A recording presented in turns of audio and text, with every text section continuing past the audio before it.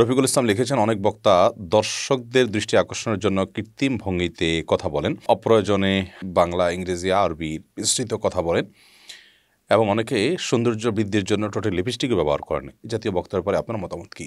দেখুন, এটা খুবই দৃষ্টিকটু এবং অনুচিত একটি কাজ। বিশেষ করে টোটাল লিপস্টিক ব্যবহার করা, মেয়েদের মতো ঠোঁটকে লাল করার চেষ্টা করা এটা তো রীতিমতো গুনাহের কথা। মেয়েদের সাথে সাদৃশ্য গ্রহণের চেষ্টা করা এটা গুনাহ।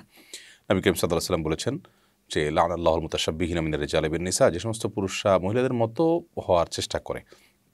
হয়তো মহিলা মতো হওয়ার চেষ্টা করছেন না, কিন্তু ঠোঁটের মধ্যে লাল আবহাওয়ার চেষ্টা করছেন যা দেখতে সুন্দর হয়। কিন্তু আলটিমেটলি সেটা মানে মেয়েরা ঠোঁটে লিপস্টিক দিয়ে থাকে, তাদের অনুকরণই হচ্ছে। তো এটা গুনাহের কথা। এরকম ব্যক্তি ইসলাম প্রচারক হওয়া তো পরের কথা, তিনি ভালো মুসলমানই হতে পারলেন না। আর অপ্রয়োজনে কথার মধ্যে কৃত্রিমতা সৃষ্টি করে কথা বানিয়ে বানিয়ে চিবিয়ে এবং লৌকিকতা সৃষ্টি করে কথা বলা, এটা রীতিমতো গুনাহের কথা।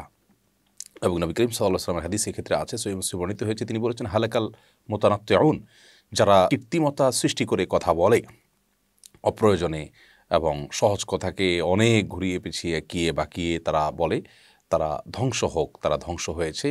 তারা ক্ষতিগ্রস্ত হয়েছে তার মানে তারা গুণাগার হয়েছে। ও আরেকটা হাদিসও আছে সাল্লাম সেখানে উম্মতের সবচেয়ে খারাপ মানুষগুলোর তালিকায় এরকম মানুষের কথা বলেছেন যারা কথার মধ্যে অপ্রয়োজনীয় কৃত্রিমতা এবং লৌকিকতা সৃষ্টি করে এভাবে পানোয়াট আহ, ইয়ে তৈরি করে আপনার বানোয়াটভাবে তারা কথা বলে।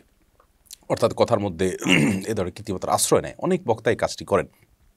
আসলে ওয়াজ মাহফিলে আজকাল অনেকেই এমন সব কাজ করছে যেগুলো ইসলামের ইতিহাসে কখন ইসলাম প্রচারের নামে কেউই কোনো কালে করেনি।